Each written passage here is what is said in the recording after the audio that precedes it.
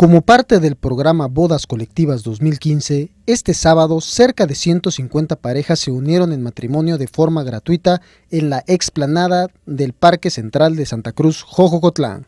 Dicho evento fue organizado por el Registro Civil del Estado.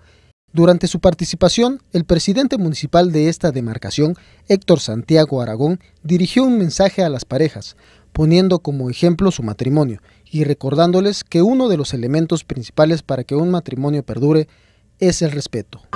Muchísimas gracias por compartir con nosotros este gran momento.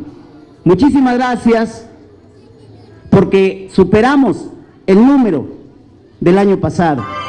En representación de la directora del Registro Civil del Estado de Oaxaca, Claribel Rivera Castillo, el licenciado Víctor Manuel Estrada Gómez aseguró que para esta dependencia es gratificante colaborar con este programa, casando y dando validez a los matrimonios.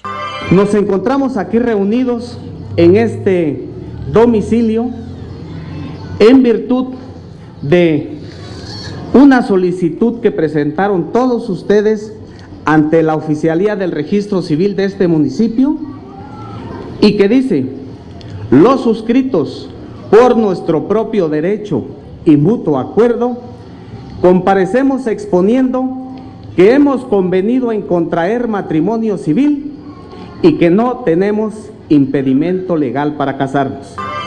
Con imágenes de Alan Ramírez para MBM Televisión informó Daniel Coronado.